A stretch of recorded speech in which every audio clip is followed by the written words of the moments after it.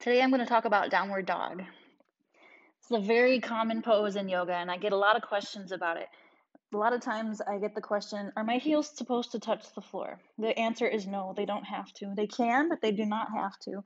If your hamstrings are tight and you're trying to force your heels to the floor, what's going to happen is your back is going to round quite a bit.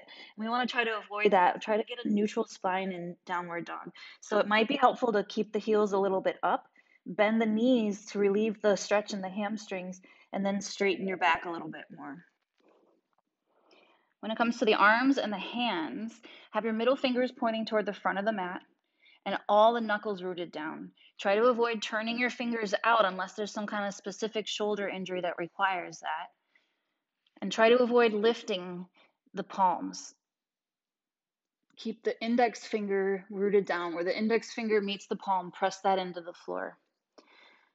Avoid staying up on the fingers. That will strain the finger joints in time. Bring the palms down. And then the inner elbow creases will spiral just a little bit forward. That'll prevent the shoulders from internally rotating. And really work on lifting up out of your shoulders, straightening the arms.